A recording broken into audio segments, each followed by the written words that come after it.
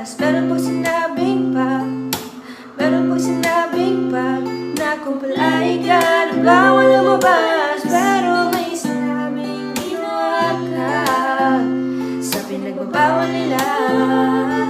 Inayos mo Yung law ng classroom nyo At sinabit mo ulit Ay pwede na pala ikaw Yeah. lumabas. Sa classroom may batas, bawal lumabas o bawal lumabas Pero pag sinabi ng pag, sinabi ng pag Na-comply ka na bawal lumabas.